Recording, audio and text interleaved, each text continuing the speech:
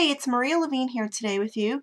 I'm going to share a fun little technique to create an embellishment, a fabric embellishment which you can use on cards, scrapbook pages, or tags um, using some canvas. This is uh, two little canvas pieces that I already have pre-cut ready to go. Uh, the canvas that I use is actually a, a, big drop cloth that you can get at a home improvement store such as Home Depot or Lowe's. And when you do look for these in those stores, just be sure you get the kind that does not have um, the plastic coating on the back. You just want the solid, all, all fabric. Um, so I already have these pre-cut ready to go. And today we're going to use, we're going to create a heart. It is Valentine's Day today while I'm recording this. So I went with the heart Valentine's theme. And we're going to use this heart from the Ippity kit called Straight from the Heart to create our little embellishment. So what I'm going to do very simply is I'm going to stamp I'm going to do it in black ink just so you'll be able to see it better on the video. But of course you can use any color. I'm using an archival waterproof type ink which stamps pretty well on the canvas. I know StazOn will work well as well. So let's just stamp the heart right in the center. So there's our heart stamped on our canvas.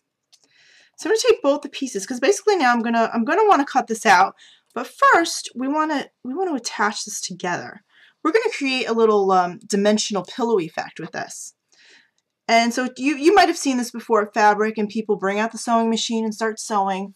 I'm not a fan of sewing. I have a sewing machine, hardly ever use it. I keep It keeps jamming on me. and I've done this type of thing before and I hand stitched. But then I'm thinking about the whole Tim Holtz grungy style and I'm like, you know, let's do something different today. So I'm going to pull out my tiny attacher or a stapler. And these, this tiny attach is fabulous because it's tiny little staples rather than the larger staples that a standard stapler has. And what I'm going to do is I'm going to staple these pieces together around this heart, kind of, you know, along the little dotted line, kind of. A few staples that'll hold it together. And I'm going to leave an opening up top. Go straight around with this. This um, stapler goes through anything. It's absolutely fabulous. So now I have a bunch of little staples, which you can see. Hopefully you can see it in the video, I'm not sure. Um, and if you can, that's even better because then it kind of blends in. And if you don't like the look of it, you may, you're not going to see it that well. Or if you like that grunge look, it's, it's great. So I'm going to go around and I'm going to cut out the heart now. I'll leave a little extra around the edges.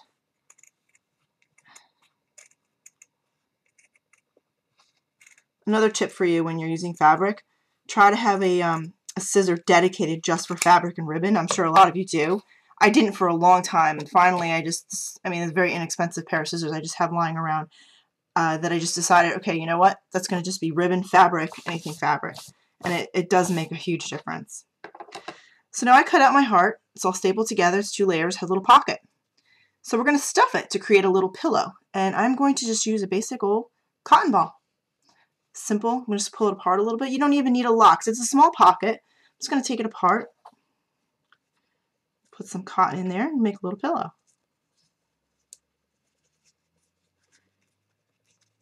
Gives you a little puffy effect.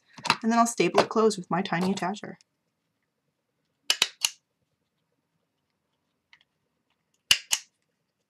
We'll get the staple right in the middle. Can always cut if you have any fuzzes left over from the cotton ball. You can always trim it you know, the um, the raveling of the canvas actually gives it a great grunge look if, if you, you know, if you, that's what we're going for. And there's our little embellishment. Very simple, using some staples, some canvas. I mean, you can do this with fabric. You know, you can do it with anything. So if you're not a sewer like I am, it's a perfect way to uh, create a fun little embellishment with your stamps. So let me show you, I um, completed a tag, Tim Holtz style. You may have seen just uh, recently he's announced instead of the 12 tags at Christmas, he's going to do a tag a month based on the theme or the holiday if there is a holiday that month. So he did a Valentine's Day theme. So based on his ideas from that, I kind of went with this. And this is what I came up with. Using our pillow, which is up here. I added some stickles to it to give it a pop of color. I inked it up a little grungier look. And there you have it. A simple, fun way to create quick little poofy embellishments for your scrapbook pages and uh, cards and tags. The sky's the limits. Love to see what you guys come up with, and uh, thanks for stopping by. See you soon. Bye.